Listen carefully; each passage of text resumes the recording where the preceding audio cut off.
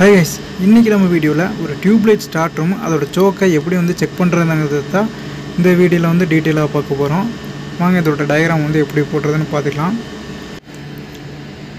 இந்த tubelight choke or blast and starter testing கிட்டோட diagram இதுதான்.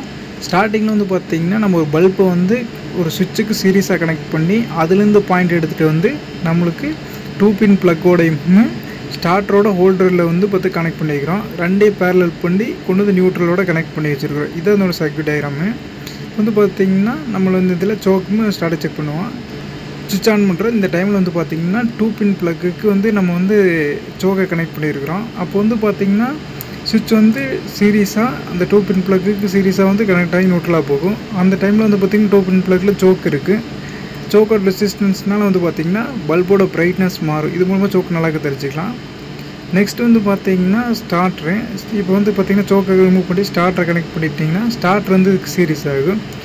Starter வந்து பார்த்தீங்கன்னா ஹீட் ஆகி ரெண்டு பயோமெட்டல் ஸ்டிப் ஹீட் ஆகி ரிலீஸ் ஆகிறனால வந்து பார்த்திங்கன்னா நம்மளுக்கு வந்து பல்ப் வந்து கன்யூஸாக ஆன் ஆஃப் ஆன் ஆஃப் ஆகும். இது மூலம் வந்து பார்த்திங்கன்னா ஸ்டார்ட்ரு வந்து நல்லா இருக்குன்னு சொல்லி தெரிஞ்சுக்கலாம்.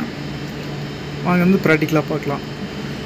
இப்போ வந்து பார்த்திங்கன்னா வந்து ப்ராக்டிக்கலாக எப்படின்னா நான் வந்து பல்ப் வந்து போட்டுக்கலாம். நீங்கள் வந்து பார்த்தீங்கன்னா சிக்ஸ்டி வாட்ஸ் பல்ப் யூஸ் பண்ணலாம் ஹண்ட்ரட் வாட்ஸ் எந்த பல்ப் யூஸ் பண்ணிக்கலாம். நீங்கள் எல்இடி பல்ப் கூட யூஸ் பண்ணிக்கலாம். ஜஸ்ட் ஒரு சீரீஸில் கனெக்ட் பண்ணிக்கிறது தான்.